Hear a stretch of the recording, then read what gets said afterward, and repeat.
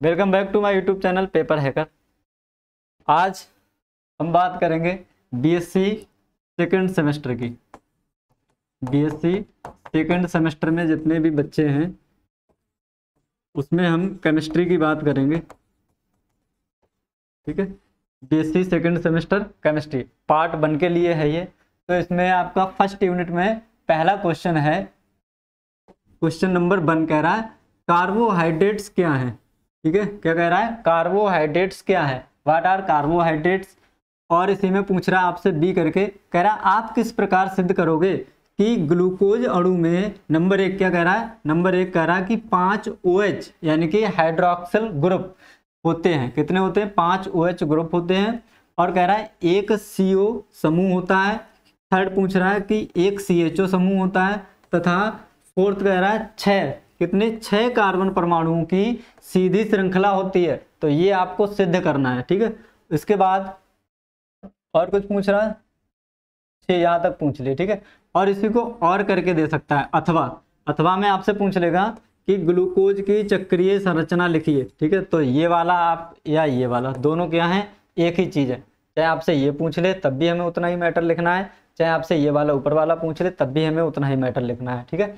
तो स्टार्ट करते हैं कि कार्बोहाइड्रेट्स क्या होते हैं, ठीक है? कार्बोहाइड्रेट्स क्या होते हैं?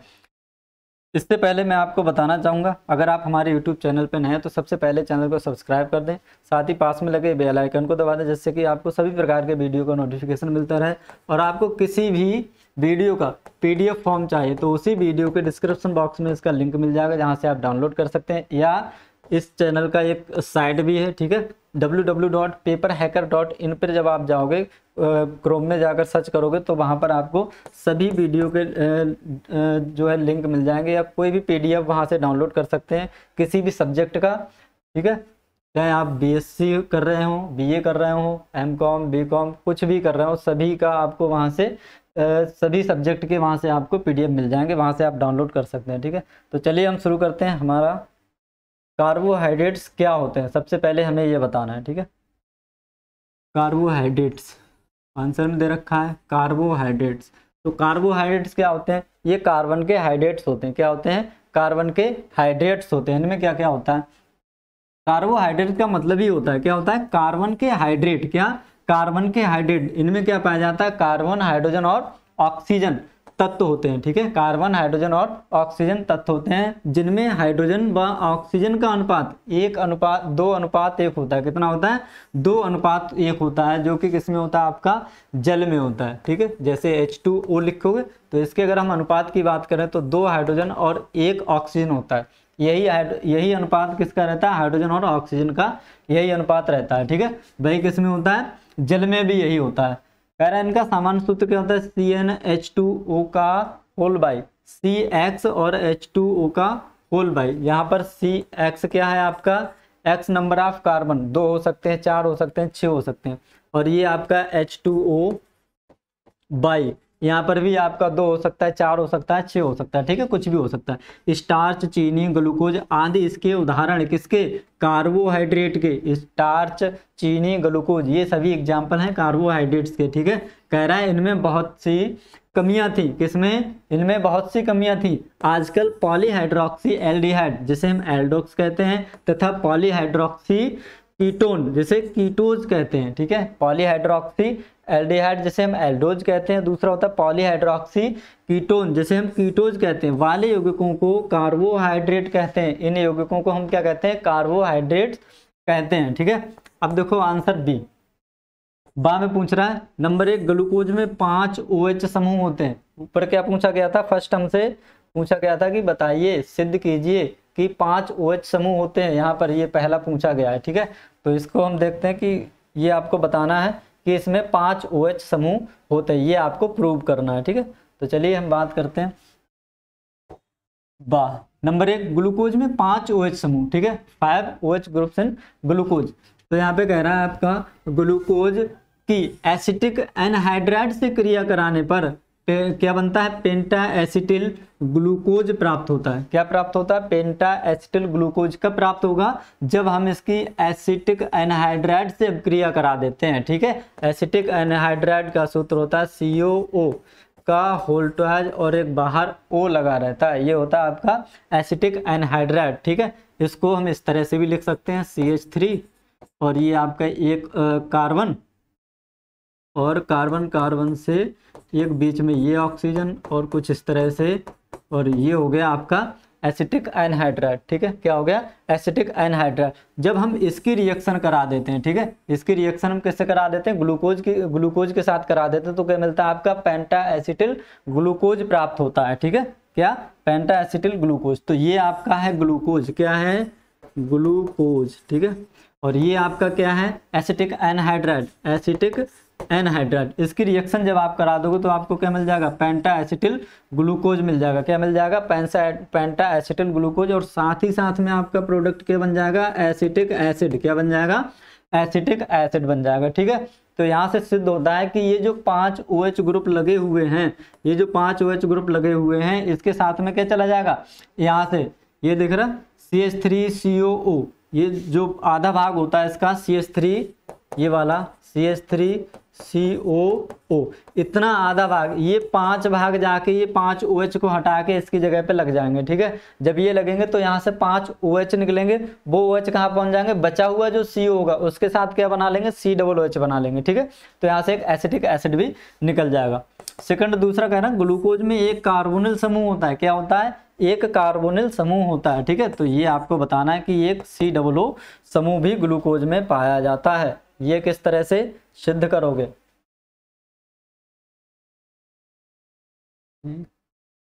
ये हम कुछ आगे बढ़ गए। ग्लूकोज में क्या होता है? एक कार्बोनल समूह होता है ठीक है? तो इसको भी हमें कुछ इसी तरह से सिद्ध करना है। ये आगे आपका। ये ग्लूकोज में एक कार्बोनिल समूह यानी कि सी डबल बॉन्ड ओ पाया जाता है। तो कह रहा है ग्लूकोज ठीक है? ग्लूकोज हाइड्रोक्सिल एमीन के साथ। ग्लूकोज मोनोऑक्सिम बनाता है। किसके साथ? हाइड्रोक्सिल एमीन के साथ क्या बनाता है? ग्लूकोज मोनोऑक्सिम बनाता है। तो ये आपका हो गया ग्लूकोज का फार्मूला ठीक है? जिसे हम क्या कहते हैं? सी सिक्स और एच ट्वेल्व ओ सिक्स ठीक है? यही होता है ना? आपका ग्लूकोज का फार्मूला देखो, एक कार्बन और एक ये पाँच और एक छः हो गए। एक, ग्यारह हाइड्रोजन और एक ये बारह। और एक ऑक्सीजन ये एक ये छः ठीक है? C six H twelve O six ये आपका क्या हो गया? ग्लूकोज प्लस ये जो आपका इधर वाला पोर्शन दे रखा है, ये आपका क्या है? हाइड्रोक्सिल एमिन क्या है? हाइड्रोक्सिल एमीन एच क्या? N H two O H जब ये इसके साथ में अक्रिया करता है तो क्या बनाता है? तो ये बनाता है ग्लूकोज मोनोऑक्सिन क्या बनाता है? ग्लूकोज मोनोऑक्सिन बना लेता है, ठीक है? ये C five H eleven O five इतना ये था ब्रैकेट के अंदर। अब यहाँ ये जो सी एच ओ बाहर लगा हुआ है, यहाँ से क्या होगा? ऑक्सीजन अलग चला जाएगा और इसका जो भाग है, ये क्या करेगा? एच टू ओ बन जाएगा, ठीक है? यहाँ से एक ऑक्सीजन कौन सा? ग्लूकोज वाला और दो हाइड्रोजन कौन से? हाइड्रोक्सिल एमिन वाले दो हाइड्रोजन। यहाँ से बाहर निकल जाएँगे और क्या बना लेंगे? साथ ही जल बना लेंगे, ठीक है? और ये आपका क्या बनेगा? ये जो आपका बनेगा, ये होगा ग्लूकोज मोनो ऑक्सीजन बन जाएगा, ठीक है? इससे सिद्ध होता है कि इसमें एक सी ओ ग्रुप पाया जाता है, ठीक है? कार्बोनिल ग्रुप पाया जाता है। नेक्स्ट थर्ड पूछ रहा है कि ग्लूकोज में एक एल्डिहाइड समूह होता है, क्या होता है? एल्डिहाइड सी एच ओ समूह होता है, ये भी बताइए, ठीक है? कैसे सिद्ध करोगे कि इसमें एक ग्लूकोज में एल्डिहाइड समूह पाया जाता है? तो इसके लिए क्या कह रहा है? ग्लूकोज में एक एल्डिहाइड समूह होता है, एल्डिहाइड, यानी कि सी एच ओ समूह पाया जाता है।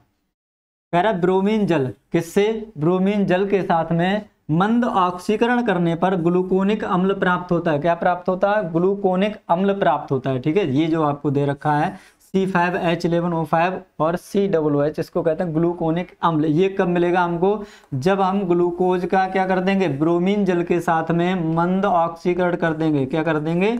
ब्रोमीन जल के साथ में मंद ऑक्सीकरण ये ऑक्सीजन है। ये ऑक्सीकरण जब हम सी एच ओ को ऑक्सीकरण करते हैं या एल्डिहाइड ग्रुप का ऑक्सीडेशन करते हैं तो ये एल्डिहाइड आपका सी डब्ल्यू एच में कन्वर्ट हो जाता है, ये आपको ध्यान रखना है, ठीक है? एल्डिहाइड सी डब्ल्यू एच में कन्वर्ट हो जाता है। तो इसका जब हम ऑक्सीडेशन करेंगे तो ये जो ऑक्सीजन है, ये क्या करेगा? सी एच ओ को सी डब्ल्यू एच में कन्वर्ट कर देगा। तो C five H eleven O five C five H eleven O five और ये सी एच ओ कहाँ पहुँच जाएगा? सी डब्ल्यू एच में पहुँच जाएगा, और इसी को हम कहते हैं ग्लूकोनिक एसिड क्या कहते हैं? ग्लूकोनिक एसिड ठीक है? कह रहा ग्लूकोनिक अम्ल को एचआई के अधिक में एचआई के अधिक मतलब ये जो एचआई है, ये अधिक मात्रा में होगा, ये एक्सेस में होगा, ठीक है? से क्रिया कराने पर एन हेक्जोनोइक अम्ल प्राप्त होता है। क्या होता है? एन हेक्सोनोइक अम्ल प्राप्त होता है। कब? जब जो हमें ग्लूकोनिक अम्ल मिला है, इसकी क्रिया हम किससे कर देंगे? एचआई के अधिक में, यानी कि एचआई जो होगा, वो अधिक मात्रा में होगा। तो ये ले लो आपका क्या आ गया? Gluconic acid. क्या आ गया? ग्लूकोनिक अम्ल। इसकी रिएक्शन कर दो एचआई इसके साथ में, ठीक है? किसके साथ में? एचआई के साथ में, ठीक है? इसका रिडक्शन हो रहा। अब यहाँ पर क्या मिलेगा आपको? एन हेक्सोनोइक अम्ल मिलता है। क्या मिलता है? एन हेक्सोनोइक अम्ल। C H three C H two कितने हैं? चार। सी एच टू कितने हैं? फोर तो इसको हम इस तरह से लिख सकते हैं सी एच थ्री और ये आपका सी एच टू और ये आपका सी एच टू और ये आपका सी एच टू और ये आपका सी एच टू और ये आपका क्या हो गया? सी डबल ओ एच हो गया, ठीक है? तो ये क्या हो गया? एन हेक्जेनोइक अम्ल हो गया, ठीक है? क्या हो गया? एन हेक्जेनोइक अम्ल हो गया, जो कि हमें किससे मिला था? जब हमने ग्लूकोनिक अम्ल का एच आई के अधिक में अभिक्रिया कराई थी, तब हमें क्या मिला था? एन हेक्जेनोइक एसिड मिला था, ठीक है? तो इससे हमें क्या पता चलता है? इससे पता चलता है कि ग्लूकोज में एक एल्डिहाइड ग्रुप होता है। क्या होता है? एल्डिहाइड ग्रुप होता है। सी एच ओ ग्रुप भी ग्लूकोज में प्रेजेंट होता है, ठीक है? नेक्स्ट पूछ रहा है, उपरयुक्त उपर्युक्त अभिक्रिया से ग्लूकोज में एक CHO समूह की उपस्थिति सिद्ध होती है। ठीक है, जैसे अभी हमने देखा था, ग्लूकोनिक अम्ल की हम रिएक्शन कर रहे थे एच के अधिक में तो क्या बन रहा था? एन एसिड जो कि बताता है कि ग्लूकोज में एक CHO की समूह की उपस्थिति सिद्ध होती है। ठीक है, इससे हमें पता चलता है कि ग्लूकोज में एक CHO समूह भी प्रेजेंट होता है। नेक्स्ट फोर्थ पॉइंट कह रहा है कि छह कार्बन परमाणुओं की सीधी श्रृंखला छह कार्बन परमाणु की सीधी श्रृंखला। इसको भी आपको क्या करना है, प्रूव करना है कि छह कार्बन परमाणु की एक सीधी श्रृंखला होती है। तो ये भी बताना है। कह रहा सांद्र एच एक लाल फास्फोरस के अधिक से क्रिया कराने पर पूर्ण अपचयन होने के कारण एन हेक्जेन प्राप्त होता है। कब? जब हम क्या करेंगे? सांद्र एच एक लाल फास्फोरस के अधिक में, ठीक है? एचआई के साथ में लाल फास्फोरस क्या होगा? एक्सेस में होगा। क्रिया कराने पर पूर्ण अपचयन के कारण एन हेक्जेन प्राप्त होता है। एन हेक्जेन छह कार्बन परमाणुओं की सीधी श्रृंखला का यौगिक होता है। छह कार्बन परमाणु जैसे एक क्रम में लगे रहते हैं। इससे यह सिद्ध होता है कि ग्लूकोज में छह कार्बन परमाणु सीधी श्रृंखला में होते हैं। ग्लूकोज में छह कार्बन परमाणु सीधी श्रृंखला में आपके लगे रहते हैं। तो ये आपका हो गया ग्लूकोज, ठीक है? सी सिक्स एच ट्वेल्व और O six glucose H I और क्या होगा आपका रेड फास्फोरस होगा। क्या होगा? रेड फास्फोरस ये अधिक मात्रा में होगा, ठीक है? अब क्या होगा? ये इसके साथ में अपक्रिया करके क्या बनाएगा? एन हेक्जेन बनाएगा। क्या बनाएगा? एन हेक्जेन बनाएगा, ठीक है? C H three C H two C H two C H two C H two and C H three तो इससे सिद्ध होता है कि ग्लूकोज में छह कार्बन परमाणु भी एक सीधी श्रृंखला में लगे रहते हैं, ठीक है? तो ये आपका फोर्थ पॉइंट हो गया। इसके आगे फिफ्थ पॉइंट में हमसे इतना ही पूछा था। और अथवा अगर हम देखें, और अथवा कह रहे ग्लूकोज की संरचना structure of glucose structure of glucose C O S E तो ग्लूकोज का स्ट्रक्चर कैसा होता है, ये हमको पढ़ना है, ठीक है? उसमें सी एच ओ ग्रुप होता है या सी ओ ग्रुप होता है, ये सभी हमें बताना है। तो पहले अगर हम बात करें ग्लूकोज की खुली श्रृंखला, किसकी? ग्लूकोज की खुली श्रृंखला, ठीक है? ओपन चेन की अगर हम बात करें तो ग्लूकोज की संरचना जब खुली श्रृंखला के आधार पर दी गई, ग्लूकोज की श्रृंखला ग्लूकोज की संरचना किसके आधार पर दी गई थी? खुली श्रृंखला के आधार पर, ठीक है? चैन नहीं चैन नहीं थी, खुली श्रृंखला थी, ठीक है? साइक्लिक नहीं था। यह निम्न अभिक्रियाओं को स्पष्ट नहीं कर पाया। जब खुली श्रृंखला के आधार पर इसकी पुष्टि की गई तो यह निम्न अभिक्रियाओं को स्पष्ट नहीं कर पाया। वो क्या कौन कौन सी अभिक्रियाएँ हैं जिनको ये स्पष्ट नहीं कर सका? ठीक है? तो ये क्या है? खुली श्रृंखला। क्या है ये? खुली श्रृंखला। एक कार्बन, दो, तीन, चार, पाँच और ये छः कार्बन। यहाँ पर पाँच, एक से लेकर पाँचवें कार्बन तक। पाँच ओ OH समूह लिख लगे हुए हैं। छठे कार्बन पे क्या लगा हुआ है आपका? C H O. ठीक है? छठे कार्बन पे क्या लगा हुआ है? छठा कार्बन सी एच ओ, जो कि बताता है कि ये एल्डिहाइड ग्रुप है। क्या है? एल्डिहाइड ग्रुप लगा हुआ है, ठीक है? ग्लूकोज पे। नंबर एक कहना सी एच ओ समूह होते हुए भी, इसमें सी एच ओ समूह है, लेकिन फिर भी शिफ अभिकर्मक शिफ अभिकर्मक यह एक ऑर्गेनिक रिएजेंट है। क्या है? शिप अवकर्मक एक ऑर्गेनिक रिएजेंट है, ठीक है? जो कि यह पता लगाता है कि कोई हम, जिसका हम विश्लेषण कर रहे हैं, किसी कार्बनिक यौगिक का उसमें एल्डिहाइड ग्रुप प्रेजेंट है या नहीं है, ठीक है? वो कौन बताता है? शिव अवकर्मक बताता है। कह रहा है सी एच ओ समूह होते हुए भी शिव अवकर्मक के साथ रंग नहीं देता है। इसमें एल्डिहाइड ग्रुप है, लेकिन फिर भी इसके साथ में रंग नहीं देता है। NaHCO3 सोडियम बाइसल्फेट व NH3 के साथ योगशील यौगिक नहीं बनाता। ये इनके साथ में योगशील यौगिक भी नहीं बनाता है, ठीक है? तो ये आपको याद रखने इसमें चार पाँच पॉइंट दे रखे हैं। दूसरा कह रहा है, ग्लूकोज का जलीय विलयन, परिवर्ती ध्रुव, परिवर्ती ध्रुवण घूर्णन, ठीक है? जिसे क्या कहते हैं, म्यूटा रोटेशन प्रकट करता है, ठीक है? कौन सा? ग्लूकोज का जलीय विलयन, म्यूटा रोटेशन को प्रकट करता है। थर्ड पॉइंट कह रहा है C three O H H C L gas के साथ दो समावेवी मेथिल ग्लूकोसाइड प्राप्त होते हैं। समावेवी ठीक है? अब ये समावेवी पहले पढ़ा होगा फ़र्स्ट सेमेस्टर में आपने पढ़ा होगा। समावेवी जिनका मालिकुलर फार्मूला तो सेम होता है। क्या होता है? मालिकुलर फार्मूला सेम होता है, लेकिन स्ट्रक्चरल फार्मूला कैसा होता है? डिफरेंट होता है। कैसा होता है? डिफरेंट होता है। उन्हें कहते हैं समावेवी क्या कहते हैं? समावेवी ठीक है? नेक्स्ट कह रहा है ग्लूकोज दो त्रिवम समावेवियों में पाया जाता है। किसमें? दो त्रिवम समावेवियों ठीक है? समावेवियों ये। फार्मूला सेम होगा, लेकिन स्ट्रक्चरल फार्मूला इनका अरेंजमेंट वो कैसा होगा? डिफरेंट होगा, ठीक है? साधारण ग्लूकोज का एल्कोहल में क्रिस्टलन करने पर, एक अल्फ़ा ग्लूकोज तथा प्रिडीन प्रिडीन में क्रिस्टल करने पर बीटा ग्लूकोज प्राप्त होता है। जो हमारा साधारण ग्लूकोज है उसका एल्कोहल में अगर आप क्रिस्टलन करोगे तो क्या मिलेगा आपको अल्फ़ा ग्लूकोज और प्रीडीन में करोगे तो क्या मिलेगा आपको बीटा ग्लूकोज मिलेगा, ठीक है? फोर्थ पॉइंट कह रहा ग्लूकोज के जलीय विलीन के अल्ट्रा वायलेट वर्ड क्रम, जिसे हम क्या कहते हैं स्पेक्ट्रम कहते हैं, में सीएचओ समूह अनुपस्थित रहता है, कैसा रहता है? सीएचओ समूह एबसेंट रहता है, अतः ग्लूकोज में सीएचओ समूह मुक्त अवस्था में नहीं होता है, किसमें? फ्री अवस्था में नहीं पाया जाता है, ठीक है?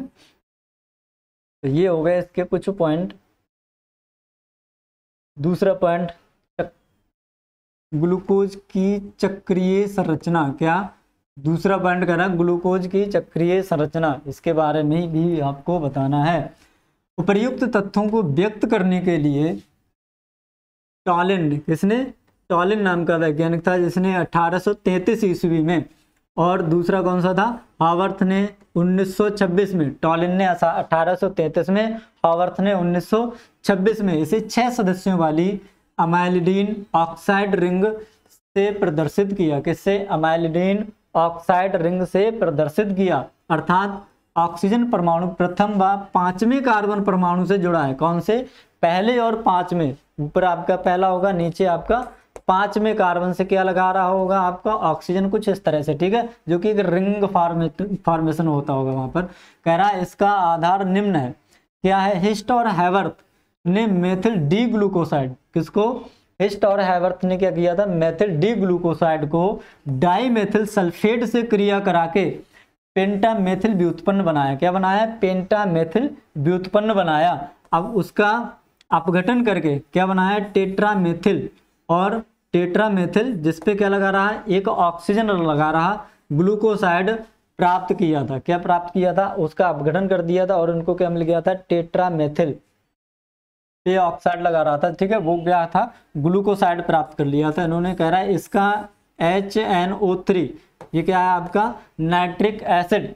से ऑक्सीकरण कराने पर ट्राईमिथॉक्सी ग्लूटारिक अम्ल बनता है। क्या बनता है? ट्राईमिथाइलिक ट्राईमेथॉक्सी ग्लूटारिक एसिड बनता है। किसका? इसके साथ में जब आप एच से ऑक्सीकरण करा दोगे, ठीक है? तो क्या बन जाएगा आपका? ट्राई मेथॉक्सी ग्लूटारिक एसिड बन जाएगा।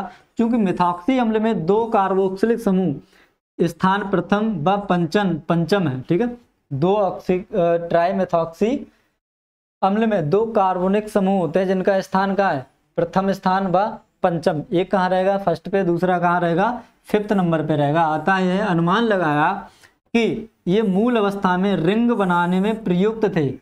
बाद में ऐसा उन्होंने अनुमान लगाया, सोचा कि ये जो थे, वो मूल अवस्था में वलय बनाने में प्रयुक्त थे, रिंग बनाने में प्रयुक्त थे, ठीक है? अर्थात डी ग्लूकोज में प्रथम बार पंचम कार्बन, पहला कार्बन और पाँच, पांचवा कार्बन कार्बन परमाणुओं के मध्य ऑक्साइड रिंग उपस्थित है। क्या है? ऑक्साइड रिंग, यानी कि इस तरह से ऑक्सीजन उसमें लगा रहा होगा पहले और पाँचवें कार्बन के बीच में, ठीक है? बीच में नहीं, पहले और पाँचवें कार्बन से जुड़ा होगा, ठीक है? रिंग टाइप इस तरह से। कार्बन नंबर एक और ये कार्बन नंबर आपका पांचवा। अतः डी ग्लूकोज में छह सदस्यीय रिंग उपस्थित है। कैसी है? छह सदस्यीय रिंग उपस्थित है, ठीक है? ये देखो, अपना आ गया। ये पहला कार्बन ये कार्बन नंबर पहला है, ठीक है? जिससे क्या लगा हुआ है? एक ओ और दूसरा हाइड्रोजन और ये यहाँ पर कितने हैं? ये तीन। सी एच ओ एच कितने हैं? सी एच ओ एच होंगे। हाँ ठीक है, ठीक। ट्राई मिथाइल तो सी एच ओ और सी एच थ्री ये कितने हैं इसके? तीन। तो तीन कार्बन यहाँ पर आ गए। एक और तीन, चार। और एक ये, एक, दो, तीन, चार, पाँच ये आपका छठा, ठीक है? तो ये आपका क्या बन गया? Trimethyl glucoside. क्या हो गया? Trimethyl glucoside. ये पाँच पाँचवा कार्बन आपका ये होगा, ठीक है? ये है आपका पाँचवा कार्बन, ये आपका पहला कार्बन है। तीन कार्बन इसमें आपके लगे हुए हैं, ठीक है? C H O C H three का होल थ्राइज यानी कि ये तीन बार लिखा हुआ तो तीन कार्बन, ये एक, ये चार और ये आपका पांचवा कार्बन होगा, ये सबसे नीचे कौन सा होगा? छठवां कार्बन होगा, ठीक है? ये यहाँ पर कौन सा आपका? छठवां कार्बन। तो क्या हो जाएगा? टेट्रामेथिल। यहाँ पर तीन मिथाइल लगे हैं ना तो उसको कहेंगे टेट्रामेथिल। एक ये चार, तीन मिथाइल ये और एक ये चार। तो क्या हो जाएगा? Tetramethyl glucoside. अब इसका क्या कर दिया? एच एन ओ थ्री के एच एन ओ थ्री के साथ में ऑक्सीकरण कर दिया, ठीक है? और ये क्या? पहले कार्बन और दूसरे कार्बन से एक ऑक्सीजन लगा है। इसका ऑक्सीडेशन करने पर क्या मिला था? Trimethoxy glutaric acid. क्या मिला था? Trimethoxy glutaric acid. इसका ऑक्सीडेशन कर दो। ये क्या करता है? सी को सी डब्ल्यू एच में कन्वर्ट कर देता है, ठीक है? तो ये इसको ओ को क्या करेगा? ये सी डब्ल्यू एच में कन्वर्ट कर देगा, ठीक है? जहाँ जहाँ सी सी लगा होगा, उसको सी में कन्वर्ट कर देगा और वो क्या बन जाएगा? आपका ट्राईमेथॉक्सी ग्लूटारिक एसिड बन जाएगा, ठीक है? एक यहाँ से सी एच थ्री यहाँ से हट गया, इसलिए ट्राई रह गया। पहले कितना था? टेट्रा था। चार थे इसमें मेथल ठीक है? एक यहाँ से हट गया कितने रहेगा? तीन रहेगा, इसलिए कह दिए ट्राई मिथॉक्सी ग्लूटेरिक एसिड। कह ग्लूकोज की चक्रीय संरचना, क्या? ग्लूकोज की चक्रीय संरचना प्रतिपादित करते ही इसका प्रथम कार्बन परमाणु, प्रथम कार्बन परमाणु कैसा हो जाता है? असमित हो जाता है, ठीक है? पहला कार्बन परमाणु जो था वो कैसा हो जाएगा? अब असमेट्रिक हो जाएगा, ठीक है? यानी कि कार्बन से लगे हुए चारों ग्रुप कैसे हो जाएँगे? आपके डिफरेंट हो जाएँगे। असिमेट्रिक हो जाता है, जिसके फलस्वरूप यह दो रूपों में पाया जाता है, ठीक है? दो रूपों में पाया जाता है, एक रूप क्या कहलाता है आपका एल्फा ठीक है? और दूसरा रूप क्या कहलाता है आपका बीटा ठीक है? यह दो रूप एक दूसरे से खुली श्रृंखला वाले एल्डिहाइड क्या होगा? ग्लूकोज स्पेस ये चो लगा रहा होगा, ठीक है? एल्डिहाइड के माध्यम से परिवर्तित होते हैं, जो कि नीचे आपको दे रखे हैं। नीचे दे रखे हैं, ये देखो।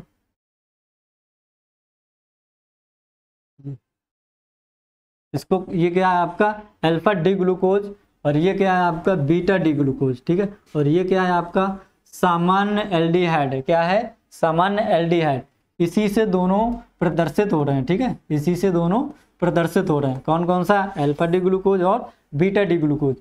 अब देखो इसमें देखो अल्फ़ा डी ग्लूकोज की अगर हम बात करें तो इसमें पहले कार्बन और दूसरे कार्बन दोनों ओ OH समूह एक ही साइड लगे हुए हैं। दोनों ओ OH समूह एक ही साइड लगे या हम कहें कि पहले कार्बन पे जो ओ OH ग्रुप लगा हुआ है, वो कहाँ लगा हुआ है? राइट हैंड साइड ठीक है? इधर देखो बीटा डी ग्लूकोज में। पहले कार्बन से जो ओ OH लगा हुआ है, वो कहाँ लगा हुआ है? आपके लेफ़्ट हैंड साइड में, ठीक है? तो इनमें यही अंतर और ये आपको ध्यान रखना है। जब आप अल्फ़ा डी ग्लूकोज को लिखोगे तो पहले कार्बन पे जो ओ OH लगा होगा, वो कहाँ रहेगा? आपका राइट हैंड साइड में। बीटा डी ग्लूकोज की बात करें तो इसमें ओ OH कहाँ रहेगा? आपका लेफ़्ट हैंड साइड में। लेकिन ये आपको ध्यान रखना है। ये जो सामान्य आपका एल्डिहाइड रूप दे रखा है ग्लूकोज का, ये ग्लूकोज ये आपको सेम बनाना है, ठीक है? कार्बन नंबर एक, दो तीन, चार, पाँच, छ। ठीक? पहले कार्बन पे आपको क्या लगाना है? सी एच लगाना दूसरे कार्बन पे आपके रेट राइट हैंड साइड आ जाएगा वो, फिर क्या आ जाएगा? लेफ़्ट हैंड फिर राइट हैंड फिर राइट हैंड नीचे। चार और पाँचवें कार्बन पे दोनों ओ OH किधर रहेंगे? एक ही साइड रहेंगे। और ऊपर का दूसरा और तीसरे कार्बन पे दोनों ओ OH कहाँ रहेंगे? एक राइट हैंड साइड होगा तो दूसरा कहाँ होगा? लेफ़्ट हैंड साइड हो जाएगा। ठीक है? तो ये दोनों संरचनाएँ थी अल्फ़ा डी ग्लूकोज और बीटा डी ग्लूकोज की। नेक्स्ट हमसे पूछ रहा है हावर्थ हावर्थ के फिशर प्रक्षेपण सूत्र, ठीक है? फिशर प्रोजेक्शन फार्मूला को इन्होंने क्या किया था? ऑक्सीजन से युक्त सट सदस्यीय चक्रिक सूत्र। ये पट नहीं है, सट लिखा हुआ ठीक है? क्या है? सट सदस्यीय, यानी कि छह सदस्यीय चक्रिक सूत्र, ठीक है? सिक्स मेंबर्ड साइक्लिक स्ट्रक्चर जिसको पायने रोज कहते हैं। क्या कहते हैं? पायने पायरेनोज रिंग कहते हैं। क्या कहते हैं? पायरेनोज रिंग कहते हैं। के आधार पर डी ग्लूकोज के दो रूपों, अल्फ़ा तथा बीटा ग्लूकोज, अल्फ़ा तथा बीटा डी ग्लूकोज, पायरेनोज के रूप में निम्न प्रकार चित्रित किया गया है। कौन कौन से? अल्फ़ा और बीटा डी ग्लूकोज। इनको पायरेनोज के रूप में निम्न प्रकार चक्रित किया गया है। किसके रूप में? पायरेनोज, ठीक है? तो ये पायरेनोज, देखो कुछ इस तरह से होता है। इसकी अगर हम बात करें तो ये क्या है आपका एल्फा डी ग्लूकोज। क्या है? एल्फा डी ग्लूकोज, जो कि फिशर सूत्र है। क्या है? फिशर प्रोजेक्शन है। तो इसमें फिशर प्रोजेक्शन में और आपको हावर सूत्र में, इनमें दोनों में अंतर देखना है, ठीक है? फिशर प्रोजेक्शन में क्या है? ये जो जैसा हमारा बना होता है first second third fourth fifth six छः कार्बन है। जैसा आपका ग्लूकोज बना होता है, ठीक उसी उसी तरह से हमें ग्लूकोज बना देना है। बसरते इतना ध्यान रखना है कि जब आप एल्फा डी ग्लूकोज की बात करो तो उसमें कहाँ होगा? जो ओ OH है, वो आपके राइट हैंड साइड पे होगा, ठीक है? पहले कार्बन से लगा हुआ ओ OH कहाँ होगा? राइट हैंड साइड पे होगा, ठीक है? ये ध्यान रखना। बकाया दूसरा, भी राइट हैंड साइड फिर लेफ़्ट फिर राइट फिर ये इसमें। पहले और चौथे कार्बन पे क्या बना होगा? ओ पहले और पाँचवें कार्बन के साथ में क्या लगा रहा होगा? ओ, जो कि एक रिंग बना रहा होगा। इसी को क्या करा है इनने? हावर्थ सूत्र में कन्वर्ट कर दिया इसी को हावर्थ सूत्र में कन्वर्ट कर दिया चक्रीय बना दिया ठीक है? ये देखो, पहला कार्बन आपका ये है, दूसरा, तीसरा, चौथा और पांचवा। अब देखो, पांचवा और पहले कार्बन के बीच में ऑक्सीजन लगा हुआ दिखाई दे रहा है यहाँ से। ठीक, उसी को पहले और पाँचवें कार्बन से ऑक्सीजन को जोड़ दिया गया अब देखो, पहले कार्बन पे ओ OH लगा हुआ है। कहाँ है? कहाँ है? भाई, दोनों एक तरफ़ है। पहले कार्बन और दूसरे कार्बन से जो लगे हुए ओ OH हैं, वो दोनों एक ही तरफ़ हैं। तो यहाँ पर भी कहाँ होगा? इधर नीचे तो यहाँ पर भी ओ OH नीचे होगा, ठीक है? यहाँ एच बना हुआ है ओ OH होगा। दूसरे कार्बन पे ओ OH तीसरे कार्बन पे कहाँ है? अपोजिट है। चौथे कार्बन पे कहाँ है? फिर इसके अपोजिट है। पाँचवें कार्बन पे क्या लगा हुआ है आपका? छठे, पाँचवें कार्बन से एक हाइड्रोजन और दूसरा क्या? ओ लगा हुआ है। छठे कार्बन से अगर हम बात करें तो C H two O H तो ये अंतर है आपके हावर सूत्र और फिशर सूत्र में, ठीक है? ठीक, इसी तरह से बीटा डी ग्लूकोज की अगर हम बात करें तो इसका भी फिशर सूत्र कैसा होगा? यहाँ पर ये किधर आ जाएगा? आपका लेफ़्ट हैंड साइड क्या आ जाएगा? लेफ़्ट हैंड साइड किसमें बीटा डी ग्लूकोज में फिशर प्रोजेक्शन या फिशर सूत्र। स्ट्रक्चर सेम रहेगा, लेकिन इसमें क्या है? जो पहले राइट हैंड साइड पे ओ OH ग्रुप लगा हुआ था, वो आपका लेफ़्ट हैंड साइड पे आ जाएगा। बाकी आपका ज्यों का त्यों रहेगा, जैसा कि बना हुआ है, ठीक है? तो इसको भी क्या करा है भाई? इसी की तरह इसको आगे कन्वर्ट कर दिया है किसमें हावर्थ सूत्र में, ठीक है? तो हावर्थ सूत्र में कैसे कन्वर्ट करोगे? आपको कार्बन जैसे लिखे हैं उसी तरह से लिखने होंगे, तीन, चार, पाँच छः तो ये आपका कहला first carbon second third fourth fifth and six तो पहले और पाँचवें कार्बन से ये आपका क्या लगा हुआ है? ऑक्सीजन लगा हुआ है। इसको जोड़ दो पहले और पाँचवें कार्बन से, ठीक है? अब देखो, पहले कार्बन पे जो ओ OH लगा हुआ है, वो कहाँ है? वो आपका अब अपोजिट है। पहले कहाँ था? नीचे था। तो अब कहाँ हो जाएगा? ऊपर हो जाएगा, ठीक है? सेकेंड कार्बन पे कहाँ है? आपका नीचे हो गया। थर्ड कार्बन पे आपका ऊपर हो गया। फोर्थ कार्बन पे फिर नीचे हो गया।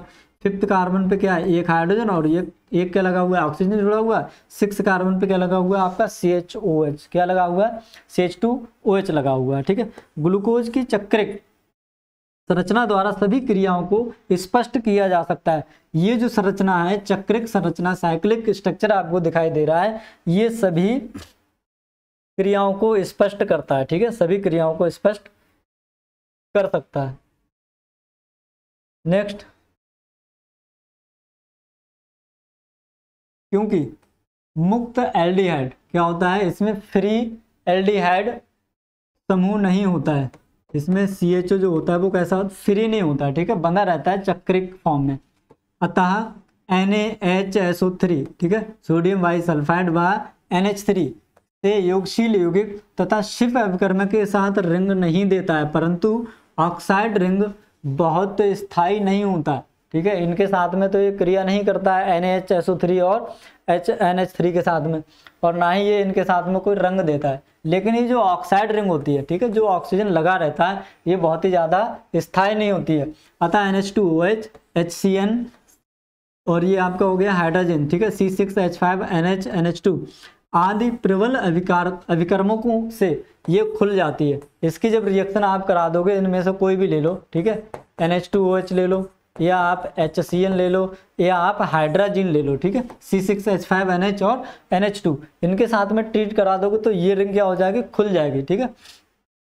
और उसके बाद में ये क्रिया कर लेगा। थर्ड म्यूटा रोटेशन की क्रिया, एक चक्रीय रूप से दूसरे चक्रीय रूप में बदलने के कारण होती है, ठीक है? एक चक्रीय रूप से दूसरे चक्रीय रूप में जब ये कन्वर्ट हो जाता है तो उसको हम क्या कहते हैं? म्यूटर रोटेशन की क्रिया इसमें देखने को मिलती है, जो संभवतः एल्डिहाइड रूप, खुली श्रृंखला के माध्यम से होती है। जो बीच में हमने देखा था, एक आपका ग्लूकोज बना हुआ था सामान, उसी के माध्यम से ये देखने को मिलता है। एक क्या मिलता है आपको? अल्फ़ा डिग्लूकोज दूसरा क्या मिलता है आपका? बीटा डिग्लूकोज ठीक है? दूसरा कह रहा, दो मेथिल ग्लूकोसाइड संभवतः दो अल्फ़ा एवं बीटा रूपों के कारण होती है। किसके कारण होती है? दो मेथिल ग्लूकोसाइड संभवतः किसके कारण होती है? दो अल्फ़ा और दो बीटा रूपों के कारण होता है। क्या होता है आपका? दो मेथिल ग्लूकोसाइड नेक्स्ट कह रहा है एक्स किरण क्रिस्टलन विश्लेषण से इसकी पुष्टि होती है। किससे? एक्सरे ठीक है? एक्सरे डिफ्रेक्शन से इसका, इसको एनालिसिस किया जाता है या हम इसका विश्लेषण करते हैं, ठीक है? तो आई होप कि आपको समझ में आया होगा। मिलते हैं अगले वीडियो में, अगले क्वेश्चन के साथ। अगर आपको इसका पीडीएफ फॉर्म चाहिए तो इसी वीडियो के डिस्क्रिप्शन बॉक्स में इसको, इसका लिंक दे रखा है, जहाँ से आप इसका पीडीएफ फॉर्म डाउनलोड कर सकते हैं और अपनी पढ़ाई अच्छे से करते हैं, ठीक है? बने रहिए हमारे साथ, चैनल को लीजिए सब्सक्राइब। Thank you, bye.